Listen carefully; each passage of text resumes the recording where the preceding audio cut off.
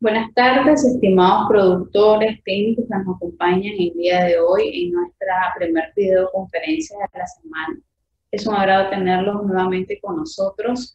Eh, agradecemos, ¿verdad?, el tiempo brindado por cada uno de ustedes, igual a los que nos sintonizan a través de nuestras redes sociales como Facebook. El día de hoy tendremos la participación del expositor José Israel López, él es investigador en arroz de INTA y nos estará presentando la conferencia sobre tecnologías de precisión para la producción sostenible de arroz. Al final de la exposición estaremos haciendo un espacio de preguntas y respuestas por si hay alguna duda o sugerencia sobre el tema. Igual si hay algún productor que desee ¿verdad? dar su experiencia de este cultivo en su, en su unidad productiva, lo podemos realizar. Muchísimas gracias por estar acá con nosotros y los dejo con un compañero Israel.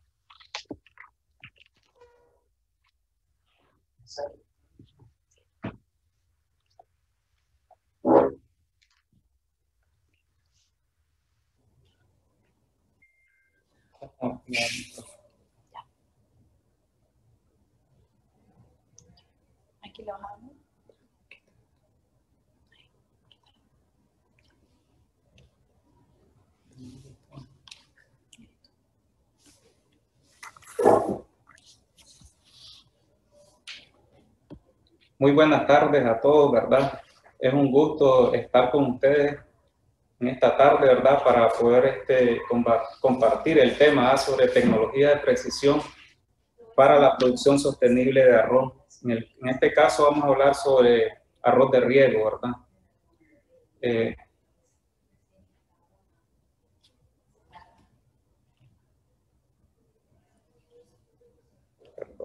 ¿Se te pegó? Sí.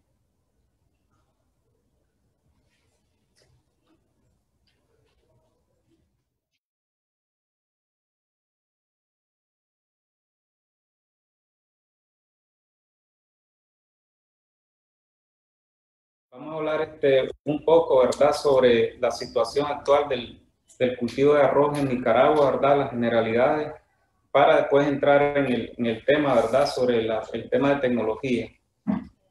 Tenemos que actualmente en Nicaragua, ¿verdad?, se, se siembran unas 65.987 hectáreas, de las cuales en riegos tenemos unas 53.970 esto produce 4.7 millones de quintales de arroz oro. Y en secano estamos eh, estableciendo unas 12.016.86 hectáreas, lo cual produce 0.5 millones de quintales de arroz oro. Eh, esta producción, ¿verdad?, representa el 70% de nuestra demanda nacional y estamos importando un 30%, lo cual viene representando unas 70.000 toneladas de arroz oro. Según FAO ¿verdad? Eh, el, rendimiento promedio, ya incluyendo arroz de riego y secano es de 4.33 toneladas, frente a 6.93 toneladas por hectárea que está produciendo este, Corea del Sur para el año 2014. Hacemos esta comparación porque este proyecto, esta presentación está enfocada, ¿verdad?, en el uso de tecnología que hemos venido trabajando con el hermano país de Corea del Sur.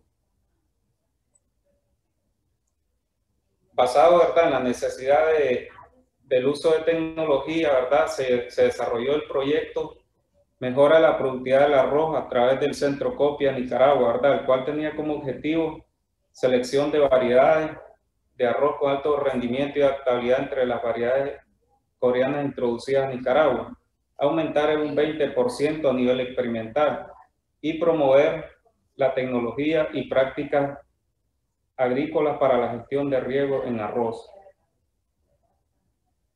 En el año 2017, ¿verdad? Realizamos la, introducción de germoplasma de Corea del Sur de 17 materiales, eh, los cuales fueron evaluados, ¿verdad? En el valle de, de Cebaco y el, el sector de Malacatoya y Mochomogo Rivas eh, producto de, ese trabajo de investigación, ¿verdad?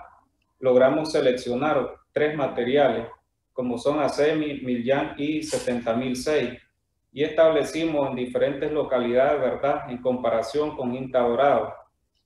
los resultados nos indicaron, ¿verdad? Que en el caso de Miljan 23, ¿verdad? Rendimientos por los 140 quintales por manzana, lo cual son rendimientos muy buenos, ¿verdad? Comparado con el testigo intadorado, ¿verdad? Y que estos materiales presentan muy buena adaptación bajo las diferentes condiciones climáticas de arroz de riego, como el Valle de Seba, como la Catoya y Ochomogo, ¿verdad? Pero también un dato muy importante de esto es la calidad industrial de estos materiales que anda en, por, encima, ¿verdad?, del 90% en comparación con INTA Dorado que anda en un 80%. Perdón. También el índice de pilada, que es algo que la industria está siempre demandando, ¿verdad? Ellos están por encima, ¿verdad?, del 60%. Por ejemplo, Acemi con un 65%, Millán con un 67% y el 70.006 con 63% y un INTA dorado, ¿verdad? Con un 60%. Es válido recalcar, ¿verdad? Que este índice de pilado y calidad industrial están ligados, ¿verdad? Al proceso de la humedad con que cosechamos de campo entre el 18 y el, y el 24%. Entonces, eh, conforme vamos secando, ¿verdad? Este, ese índice de pilada se puede ver afectado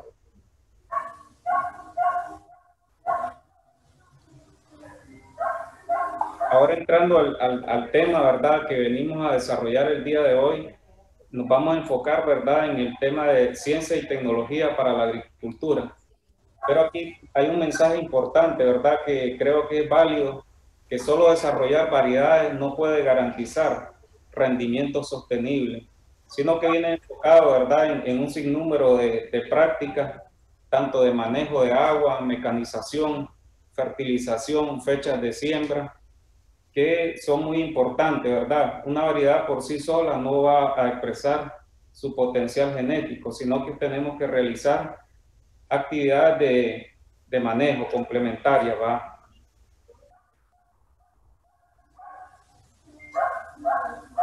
Enfocado, ¿verdad? Ya en, en la parte de los métodos de siembra en arroz de riego que hemos, que tradicionalmente se vienen desarrollando, ¿verdad? Tenemos el sistema de siembra al boleo, eh, es lo que tradicionalmente vienen realizando nuestros productores. En este sistema, ¿verdad? Los, productores lo que hacen es, realizar la siembra al boleo, ¿verdad?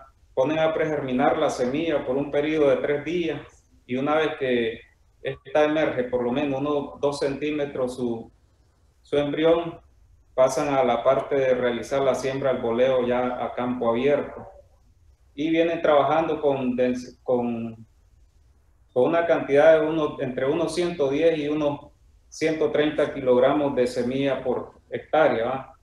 Y tenemos a continuación, ¿verdad?, lo que es el sistema de siembra eh, por trasplante manual. Este método de siembra, ¿verdad?, se viene utilizando para lo que es la producción de, de semillas genéticas, la parte de manejo de experimentos también utiliza esta metodología. Y también tenemos otro sistema de siembra al boleo, pero con motobomba que poco se, se trabaja aquí en, en, Nicaragua, ¿verdad? Y también eh, lo que hemos venido desarrollando, implementando con el, con el centro copia, el sistema de siembra de plántula mecanizado. Con este sistema, ¿verdad? Eh, para implementar dichas tecnologías este, tenemos que tener los suelos bien nivelados, que no estén preparados profundamente, ya que este implemento eh, no puede trabajar con suelos mecanizados muy profundamente. El, el, suelo se recomienda que esté con una profundidad máxima de 10 centímetros. Y otra tecnología que hemos venido desarrollando que se está utilizando más en el Valle de Sebaco y el sector de Malacatoya es el sistema de siembra mecanizado en seco, el cual consiste, ¿verdad?, en lo que es la nivelación del suelo. Posteriormente se hace lo que es este, se aplica un baño de agua para que germinen todas las malezas y posteriormente, una vez germinadas las malezas, Ah, sí la ¿no? aplicación de herbicida para controlar maleza. Y después, dependiendo del tipo de herbicida, si es que se aplique, se, se recomienda realizar la siembra unos seis días después de aplicado el herbicida. En este sistema, ¿verdad? Se pueden trabajar diferentes distancias de siembra. Puede ser a 17 centímetros y a 32. Este sistema es lo que nos permite trabajar solamente esas dos densidades de, esas dos distancias de siembra. Pero actualmente eh, también hemos introducido de, de, Corea del Sur una sembradora este, multigrano, la cual puede trabajar con grano grueso y grano fino. Dentro de los granos gruesos tenemos este, soya y frijol y en grano fino el cultivo del arroz y también con sorgo. ¿ah? Este implemento aún no hemos desarrollado este, parcelas de validación. Tenemos pensado sembrar en el mes de noviembre para comparar, ¿verdad? Diferentes distancias de siembra Sí, hombre. en el cultivo de arroz, en el, en el sector de ceba.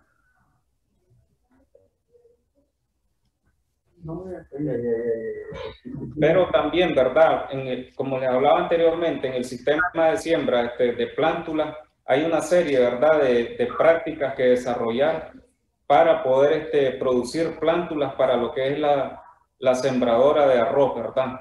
Dentro de ella, ¿verdad? Tenemos ahí en la fotografía que es este, ponemos con agua, ¿verdad? En, un barril y aplicamos este, sal, ¿verdad? Esto para incrementar la, densidad aparente del agua, perdón. Entonces, posteriormente sumergimos la, la semilla, ¿verdad? Por efecto de la gravedad, toda la semilla que, que es de muy mala calidad se va a subliviar hacia arriba. Y entonces nosotros procedemos a lo que es este, sacar semi- el grano de mala calidad. Y en la parte del fondo solo nos va a quedar lo que es la semilla de buena calidad. Posteriormente, ¿verdad? Que hacemos ese proceso, aplicamos, lavamos la semilla y aplicamos un tipo de fungicida y dejamos por un periodo de dos días y estamos cambiando el agua en el barril para que el agua se, el, la semilla se oxigene y no, no muere el embrión. Posteriormente, ¿verdad? Hacemos lo que es la selección del, del suelo o sustrato, ¿verdad? Para la siembra de la bandeja, la cual consiste, ¿verdad? En seleccionar un, un suelo rojizo, ¿verdad? Con pH entre 4.5 y 5.4, que son suelos con muy buenos nutrientes, ¿verdad? Sí, Pasamos a lo que es la siembra el semillero en bandeja, ¿verdad? Para Perfecto. eso utilizamos unos 110 gramos por bandeja. Bueno, Una vez que sembramos, eh, dejamos por un periodo de 20 días de eh, que Ah, germine esa semilla en la bandeja, ¿verdad? vámonos, pues. Hasta obtener, ¿verdad? Plántulas de, de la siguiente calidad, como la miran ahí en la fotografía. Y 20 días después, pues pasamos ya a lo que es el campo de producción, a realizar lo que es la siembra mecanizada por trasplante. Basado, ¿verdad? En, en esa tecnología, nosotros este, como, como INTA hemos desarrollado días de, de campo sobre el sistema mecanizado, ¿verdad?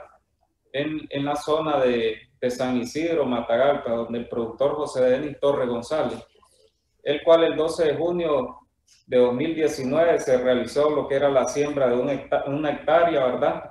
Para comparar con el sistema tradicional que venía trabajando el productor, que era al boleo. Como resultado, ¿verdad? De, esa, de ese trabajo de validación, trabajamos, ¿verdad? Con lo que es la variedad Inta Dorado, la cual, ¿verdad? En el caso de, vamos a ir viendo algunos datos comparativos. En el caso del macollamiento, ¿verdad? El sistema de siembra al boleo presentó este 18 ma- este, rebrotes, ¿verdad? Y bajo el sistema mecanizado, ¿verdad? 25. Y en el caso, ¿verdad? La altura de planta, el sistema de siembra al boleo eh, incrementa, ¿verdad? Lo que es la, altura de planta. En el caso del sistema mecanizado, presentó 92 centímetros. Y en el tema de semilla, ¿verdad? Ese es uno de los impactos de la tecnología también. Eh, el sistema de siembra, el boleo, el productor utilizó, ¿verdad? 95 kilogramos por hectárea y con el sistema mecanizado solamente utilizamos 18 kilogramos por hectárea. Y en el caso del rendimiento, ¿verdad?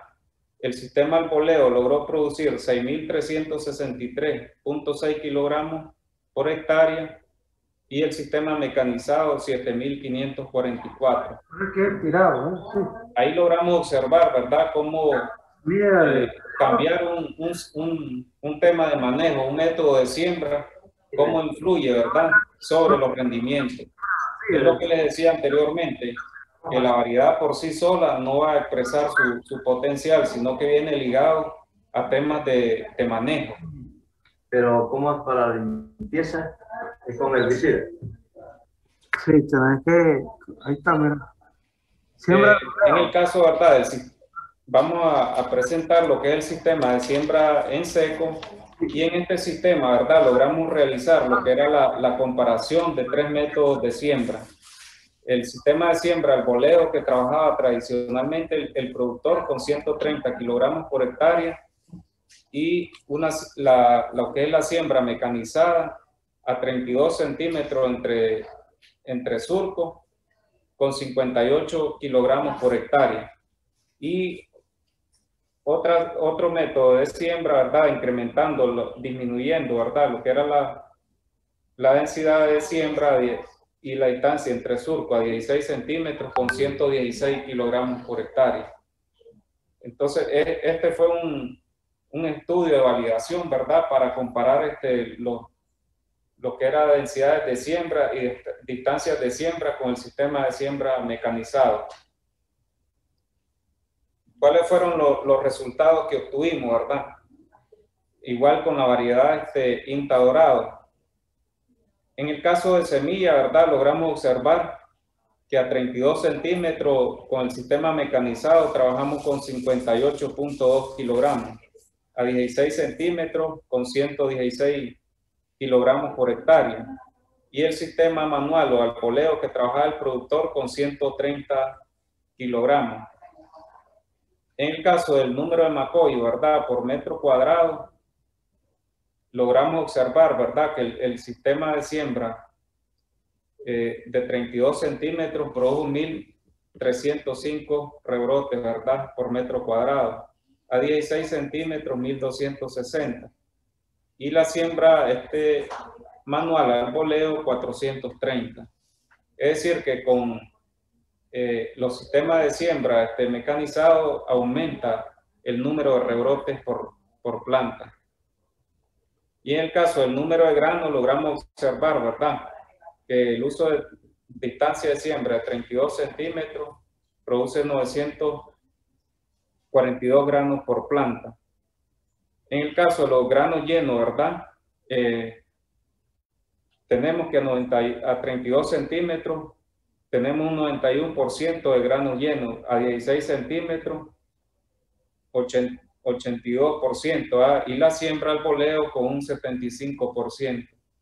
En el caso, ¿verdad?, de, de los rendimientos, logramos observar que a 32 centímetros, ¿verdad?, producimos 10.68 toneladas por hectárea, ¿verdad? Y a 16 centímetros, 9.4.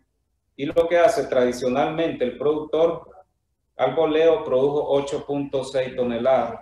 Es decir, que si nosotros adoptamos el sistema de siembra mecanizado a 32 centímetros, solo con, ese, con cambiar el método de siembra aumentamos en un 24% los rendimientos en, esa época del cultivo, ¿verdad? Entonces es un tema, ¿verdad? Que con solo cambiar este, un método de siembra, incrementamos igual los rendimientos. Entonces ahí nos damos cuenta, ¿verdad? que estas tecnologías son de, de, mucha importancia, ¿verdad? Para mejorar los rendimientos en el cultivo de arroz. Y de esa manera, ¿verdad? Contribuir a la autosuficiencia del rubro que actualmente se encuentra en un 70%. Pero aparte de eso, ¿verdad? También este, desarrollamos otros aspectos como es la fertilización. Para eso, ¿verdad? Trabajamos, ¿verdad? Lo que era eh, dos métodos de fertilización y cuatro densidades de siembra, ¿verdad? Eh, este experimento lo, lo, establecimos, ¿verdad? En diferentes localidades también, como fue en el Valle de Cebaco, Malacatoya, Ochomogo y en San Lorenzo, Huaco, ¿verdad? Entonces ahí comparamos lo que era eh, la densidad 1 de 130 kilogramos por hectárea de semilla, la densidad 2 con 110 kilogramos, una densidad 3 de 90 y una densidad 4 de 70 kilogramos. Cada uno de esos, ¿verdad? Este, hicimos un arreglo para bloques completamente al azar, para un bifactorial, ¿verdad? Y los comparamos, ¿verdad? Y a continuación le voy a mostrar este, los resultados que obtuvimos, ¿verdad? Para una localidad, ya que el, por el tiempo, ¿verdad? Aquí logramos este, observar, ¿verdad? Eh, las parcelas, cómo estaban ubicadas en el campo. Logran observar que para cada uno de los tratamientos se realizó un muro alrededor, ¿verdad? Para evitar que la semilla se cruzara de un, de un tratamiento a otro. De igual manera lo que era la fertilización. En el caso de, la fertilización, ¿verdad? Se realizaron las aplicaciones a lo, al momento de la siembra, ¿verdad? A los 25 días, a los 35 y a los 45 días. ¿Cuáles fueron los resultados, verdad? Vamos a mostrar este, en este caso solo los resultados del Centro Experimental del Arroz este, Tainic, ¿verdad? Eh, igual en las otras localidades se, obtuvieron resultados muy, muy buenos, de los cuales se está partiendo a, la, a las recomendaciones. Si logramos observar, ¿verdad? El, el, experimento en el caso de, de los rendimientos no, no hubieron diferencias, ¿verdad?, entre cada uno de, de las densidades de siembra. Pero, ¿cuál es, cuál es lo más importante en, este, en esta etapa de esta investigación? Lograr, ¿verdad?, observar que en el caso de la densidad 1 de 130 kilogramos por hectárea, no hay diferencia, ¿verdad?, entre la densidad 2. En el caso de la producción, ¿verdad?, las diferencias de rendimiento son mínimas. Entonces, aquí en el caso de la densidad 2, son 110 kilogramos por hectárea. Entonces, una recomendación para el productor es que en vez de usar 130 kilogramos de, semilla de arroz dorado, mejor utilice 110 kilogramos, ¿verdad? Ahí se estaría él ahorrando unos 20 kilogramos de semilla y los rendimientos van a ser similares. En el caso de la fertilización, ¿verdad? Da lo mismo utilizar este, lo mismo utilizar este, la fertilización 1 recomendada por el Centro Experimental del Arroz TAINIC o utilizar la fertilización 2 recomendada por el Centro Copia Nicaragua. Es decir que eh, incrementar los rendimientos, incrementar el uso de fertilizantes no va a contribuir al incremento de los rendimientos. Por lo tanto, ¿verdad? Lo más recomendable es manejar lo que es la densidad de siembra, a 110 kilogramos por hectárea.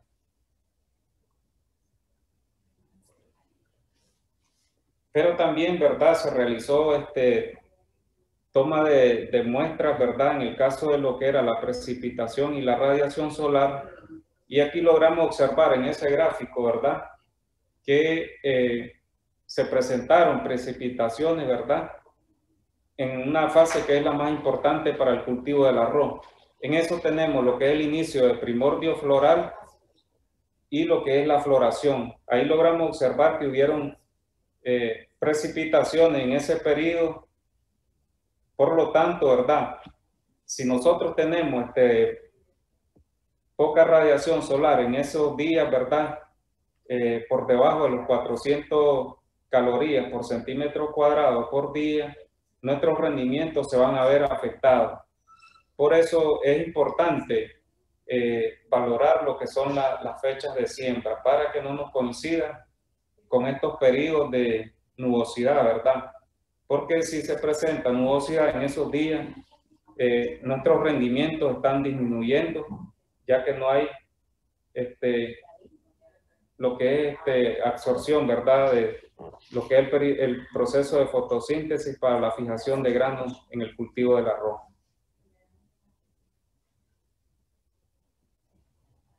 esa es la, la, ponencia que yo les quería compartir el día de hoy, ¿verdad? Y este, estamos atentos, ¿verdad? A sus consultas para poder este, dialogar.